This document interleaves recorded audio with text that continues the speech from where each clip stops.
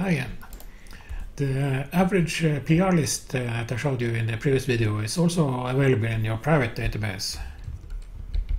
Let's take a look. Uh, go to private database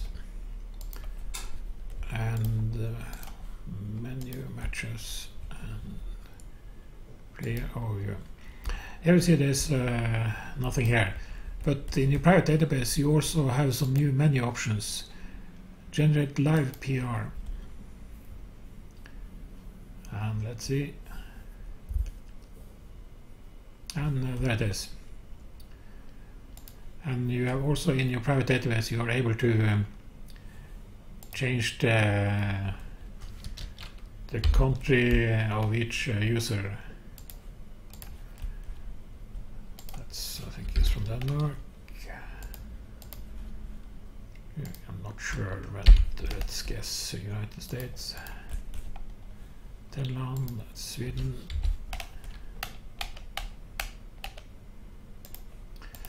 But uh, one uh, clue here is that uh, these actually won't change until you generate the list again, since all this information is cached. So let's try to generate. And now this uh, got updated. There's also another uh, generate uh, live PR. I don't think we need to do it. This, is uh, for all. This is for all matches, also one-point matches and three-point matches. There is an option, a match filter, to say that you want to only display uh, data for matches longer than three points, which includes or is, excludes uh, one and three-point matches. Or you can show, uh, choose to show all. And there's also a last one here. It's to generate online PR. But for that to be in use, uh, you need to have uh, matches uh, that are uh, tagged as uh, online.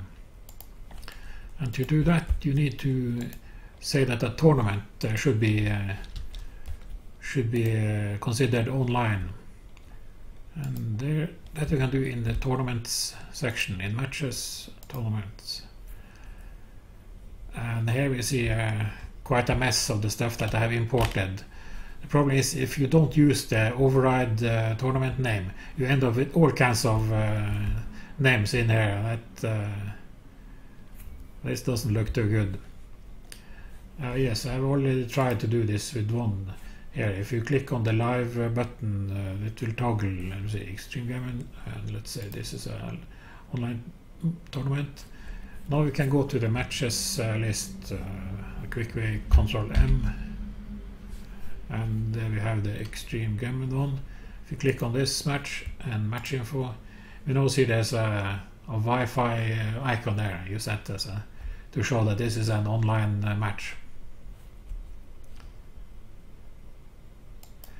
And we saw all that uh, mess that we had in that tournament list is uh, because of uh, stuff we have imported here and you see there's uh, everything is just all kinds of stuff. And what was this from? Info XG Masters. And uh, so when you see this uh, XF, uh, that's uh, some Unicode uh, characters that has uh, that the server isn't able to decode properly. So for this, you have to do the old trick of edit. Click on this one and do we have an XG master share? See, no, nothing. So just uh, rename this one to XG masters, rename. And then for the, the other ones, I think that's also an XG master, yes. We need to uh, merge uh, these with the uh, one that's correct. And this is obviously taking forever, so you should use that uh, tournament override when you import many matches uh, from a single folder, just to get uh, to avoid all the extra work here.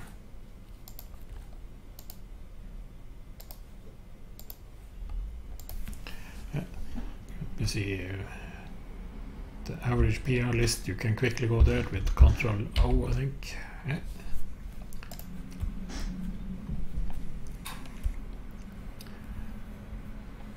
yeah I think that's uh, that's it for the PR list. See you.